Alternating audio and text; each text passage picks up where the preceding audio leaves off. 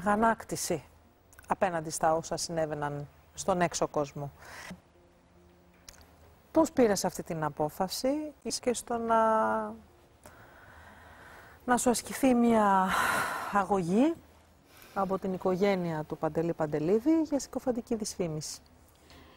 Ήμουν στο νοσοκομείο όταν πήρα το κινητό μου τηλέφωνο.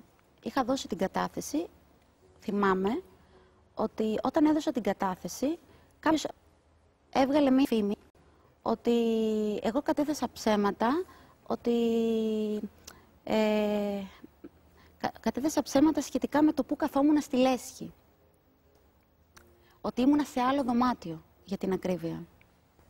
Το οποίο δεν υπήρχε στην κατάθεσή μου, απλά ήταν ένα σενάριο το οποίο στήθηκε για να φανώ ψεύτρα.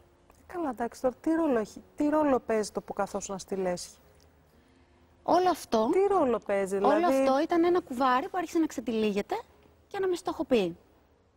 Ναι, Ναι. αλλά επαναλαμβάνω, το που καθόσουν στη Λέσχη, γιατί μας αφορά σε ένα τροχαίο; Ε, γιατί αργότερα θέλαν να πούν ότι ο Παντελής ήταν πάρα πολύ μεθυσμένος και έπεφτε κάτω και τον σηκώνανε και τον βάζανε στο αυτοκίνητο να τον οδηγήσει με το ζόρι.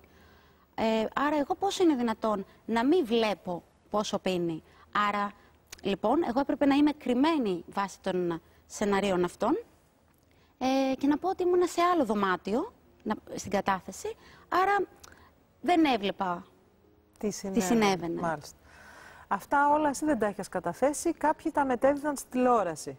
Και ε, όταν τα άκουσες και όταν παίρνεις το κινητό σου λοιπόν και τι γίνεται εδώ, τι βλέπεις; Παίρνω το κινητό μου, μηνύματα άπειρα. Κόσμος να με βρίζει. Κόσμος να εύχεται να πεθάνω.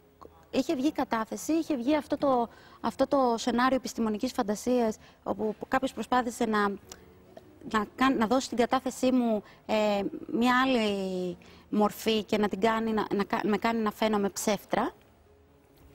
Ε, όπου όλοι άρχισαν να με βρίζουν ε, να πεθάνεις, ε, γιατί δεν πέθανες εσύ και να ζει ο Παντελής και εύχομαι να μείνεις ανάπηρη και να, μ- και να σε νεκροφιλήσει η μάνα σου και όλα αυτά. Πώς το διαχειρίστηκες, δηλαδή είσαι ένα νέο κορίτσι, ε, έχεις μεγαλώσει με τη, με τη μαμά σου η οποία έχει δώσει μεγάλο αγώνα για να τα καταφέρει Ναι. ε, και να σε μεγαλώσει και να σε φροντίσει. Εκείνη πώς το διαχειρίστηκες, είχες κάποιον δίπλα σου να σε βοηθήσει, Είχα να σε μόνο στηρίξει κόγο και να σου δείξει το δρόμο Δεν για να ήθελα να αντέξεις δω. αυτό το Δεν- κανιβαλισμό; Ο, ο ψυχολόγος για να έρθει πρέπει να δέχεσαι εσύ να έρθει. Εγώ δεν δεχόμουν να δω ψυχολόγο. Προσπαθούσα να το διαχειριστώ μόνη μου.